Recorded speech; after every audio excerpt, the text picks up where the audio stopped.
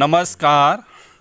Santa cruise Mumbai स्थित सनिष्ठ सामाजिक कार्यकर श्री आठ कोटि मोटी पक्ष स्थानकवासी जैन मुंबई संघ के मैनेजिंग ट्रस्टी और सांता क्रूज वेस्ट स्थानकवासी संघ के उप प्रमुख और अन्य संस्थाओं में कार्यरत नीलम स्टील कंपनी के श्रेष्ठीवर्य उद्योगपति श्रीयुक्त प्रेमजी भाई जेठाबाई डेडिया, कच्छ भोजाई वाला आज के संदेश कार्यक्रम में अपना प्रतिभाव उन्हीं के विचारों और शब्दों में सुनिए।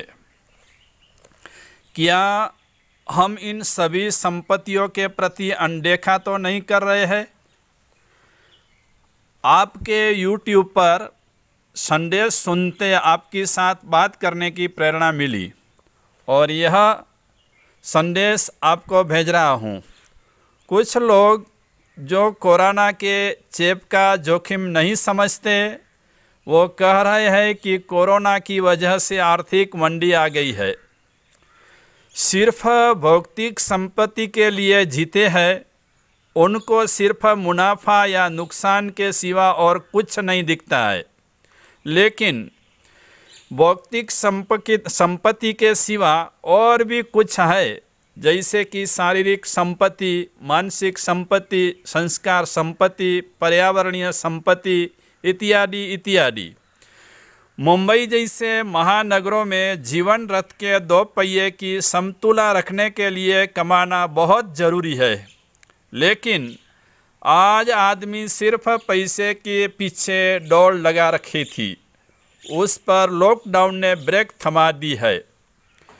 मैं महानगरों में बस रहे लोगों से यह पूछता हूँ कि कभी आपको खुले आकाश की ओर देखने की फुर्सत मिली है? आप सुबह तो जल्द उठ जाते हैं, लेकिन भाग दौड़ की फ़िक्र में कभी पक्षियों का कलरव सुना है? आपकी बालकनी के पास सालों से खड़े हुए पेड़ की ओर देखने की फुर्सत मिली है?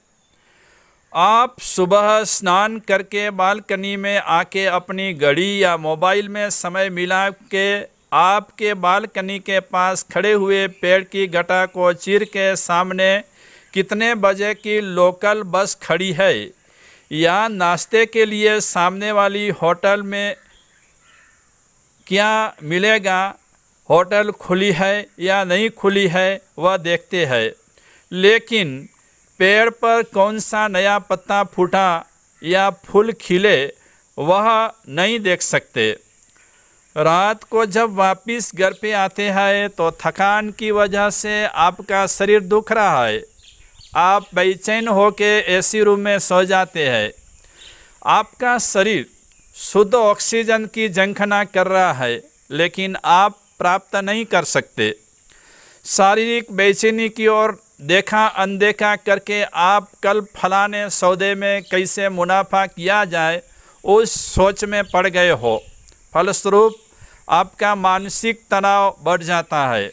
लेकिन लॉकडाउन ने यह सारी तकलीफ़ें दूर कर दी है। यहाँ यह बात सच है कि लोगों की आमदनी बंद हो गई है। लेकिन यह भी वास्तविक है कि हमारे फिजूल खर्च भी बंद हो गए हैं। आप सुबह उठकर बालकनी में खड़े होते, ऊपर देखते हैं तो आपको शुभ्र स्वच्छ आकाश दिखता है। पहले वाहनों की, विमानों की आवाज़ धमधमाट के साथ सुनाई दे रही थी। रोड पे 24 घंटे ट्रैफ़िक दिखाई पड़ता था। वह आज शांत और साफ़ दिखाई दे रहा है। आपकी सेहत बिगाड़ने वाले रेस्टोरेंट, होटलें भी बंद है। आपके घर की पास का पेड़ आपको दिखाई दे रहा है। नई नई पत्ते की टनियाँ फूट रही है। कितने ढेर सारे फूल हंसकर आपको सुप्रभात। गुड मॉर्निंग कह रहे हैं। मुंबई जैसे महानगरों में रहते आज आपको अपने छोटे गाँव वाला बचपन याद आता है।